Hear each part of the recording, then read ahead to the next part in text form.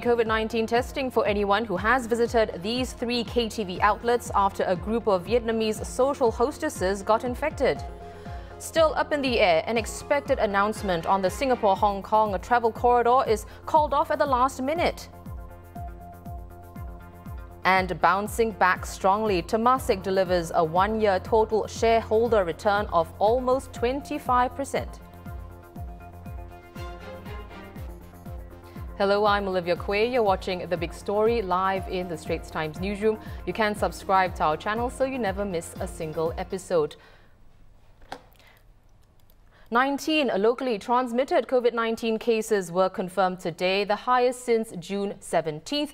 Of the 15 linked to previous cases, 8 belong to the emerging KTV cluster. Four cases are currently unlinked. There were also seven imported cases.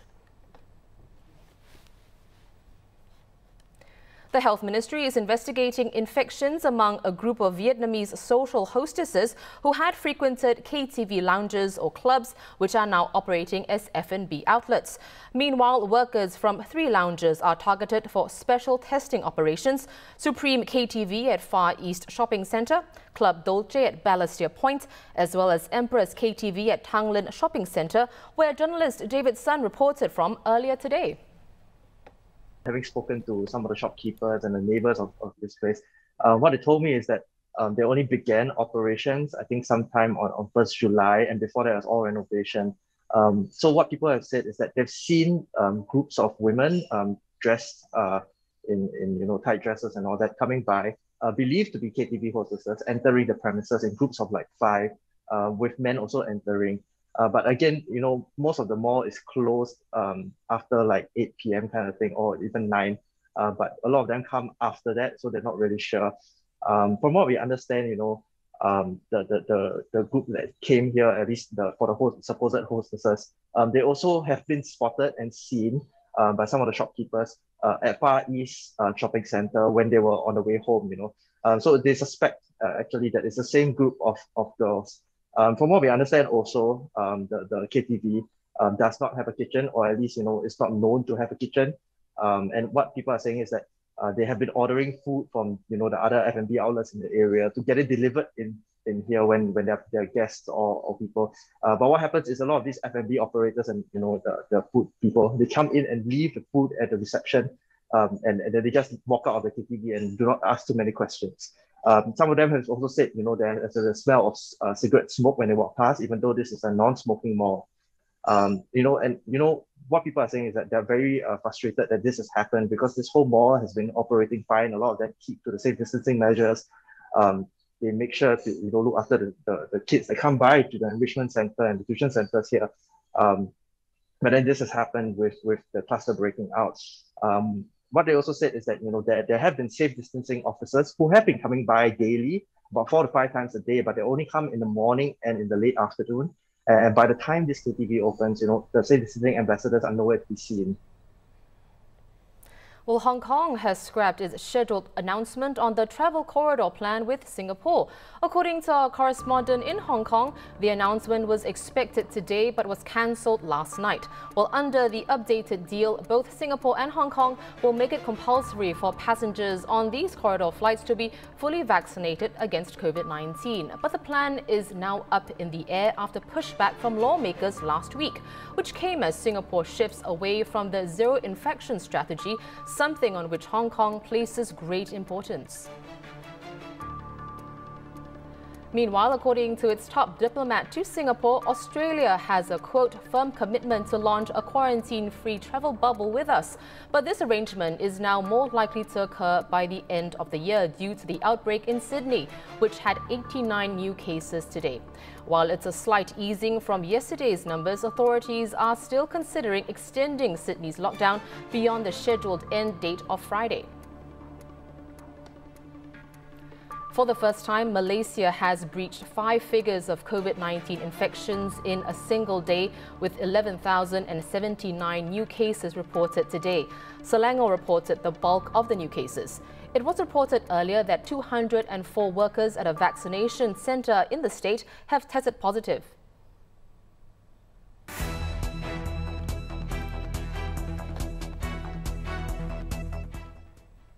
Despite the lockdowns and travel restrictions of the COVID-19 pandemic, Temasek delivered a record year as global markets rebounded.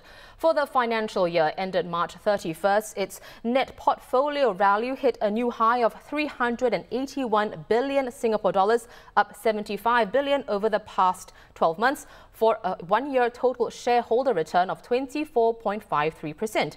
Temasek invested $49 billion and divested $39 billion record numbers on both counts.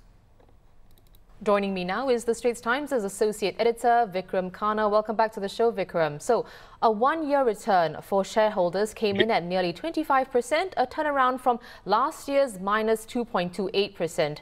How did Temasek pull off, shall we say, a record year? Well, um, the main story is what happened in the markets. The, as you might remember, in March 2020, in the third week of March 2020, the stock markets crashed because of COVID-19. But from the end of March 2020 to the end of March 2021, which is the period covered in the, in the Temasek results, the markets did fantastically well. The uh, S&P 500 in the United States went up about 60%. The NASDAQ composite, which is the tech-heavy index, that went up about 85%. The Straits Times Industrial STI, our own market, went up about 30%, and the Shanghai Composite went up about 25%. So now all of that lifted the returns on Temasek's listed portfolio, listed companies. But what it also did is that when, when markets go up, what happens is that a lot of unlisted companies get listed. And when that happens in a bull market, there are usually huge increases in valuations. And that seems to have happened to Temasek as well. I mean, they note, they note in their review that a lot of their unlisted holdings became listed uh, during this period. So that is basically the story. Uh, of course, I mean, it's not just the markets. They obviously made some good investments as well. And they have, they have outperformed, uh, I think, some other sovereign wealth funds for example, Norway's sovereign wealth fund turned in about 10.9% for 2020. It's not strictly comparable because that's 2020 calendar year, and we're looking at uh, March to March, but it still gives you an idea. So they've obviously made some good investments as well. Right. Well, let's look ahead to Temasek's future. What trends are you seeing uh, that are emerging in its portfolio? Well, broadly speaking, I mean, they're they're looking, they're building a quite different portfolio now compared to what it was, say, 10 years ago. So they've emphasized four themes. Uh, they call them uh, structural trends. They are digitization, sustainable living, the future of consumption, and longer lifespans. Now, many of these areas are all the rage among investors. But the, these things involve investments in relatively new companies, not in household names. So if you take, for example, financial services, in the past they would invest in companies like Standard Chartered Bank or Merrill Lynch or the big Chinese banks. But now they're investing in companies that many of us have never heard of. Uh, companies like FNZ is a British uh, wealth services provider. Companies like NIUM, N-I-U-M, which is a Singapore global digital payments provider and card issuer. And they're doing this not only in financial services, but in many other areas like, uh, you know, e-commerce, uh, biotech, blockchain, and so on. So the future will be pretty interesting to watch. Well, we'll, we'll certainly uh, keep an eye out on Temasek, uh, that's for sure. Vikram, thank you so much for coming on the show. That was Vikram Khanna, Associate Editor at The Straits Times. In other local news, the Istana is reopening its grounds to the public on August the 1st to mark National Day, the first time visitors are allowed in since the pandemic. The last scheduled opening in May to celebrate Labor Day and Hari Raya Puasa was cancelled, but those ticket holders will be invited back for this upcoming open house. However, there will not be performances, tours, booths or food trucks. In a Facebook post today, Prime Minister Lee Hsien Loong called on Singapore to rally behind our 33 athletes bound for the Tokyo Olympics and Paralympics. He also expressed delight that 21 of them will be making their debuts across a range of events that Singapore will take part in for the first time as well. With it being durian season, there's no better time to spotlight a durian business set up just this month by four airline captains left grounded by the pandemic. Meet Johnny Tan and Lo Guan Sing, two of the co-founders of Durian Pilots. Hi, good day ladies and gentlemen, boys and girls. Uh, this is your captain speaking.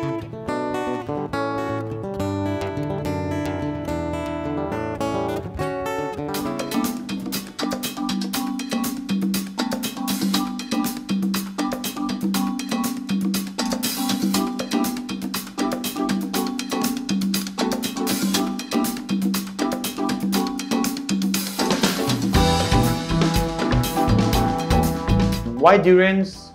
Well, um, a very good friend of mine told me that there's a chance in this business where you can eventually set up a company and if it goes on well, you can it will eventually bring you passive income in future. So with this pandemic that shocked all the aviators, there's no guarantee in our job at all. There's no assurance. So why not? Try. I mean, we got our hands bleeding most of the time. It doesn't matter, but but when you when you see customer enjoy the fruit that you sell them, there's, there's a sense of satisfaction.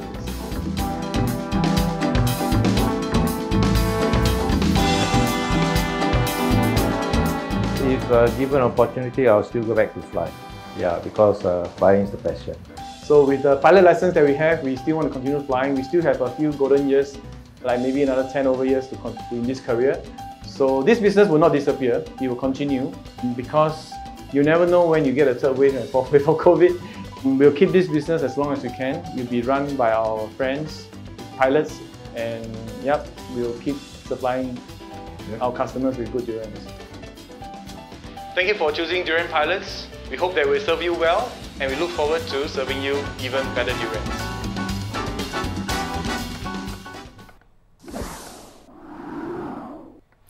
We've seen a recent uptick in race-related disputes and incidents. There's also been greater discussion of issues surrounding race like discrimination and privilege.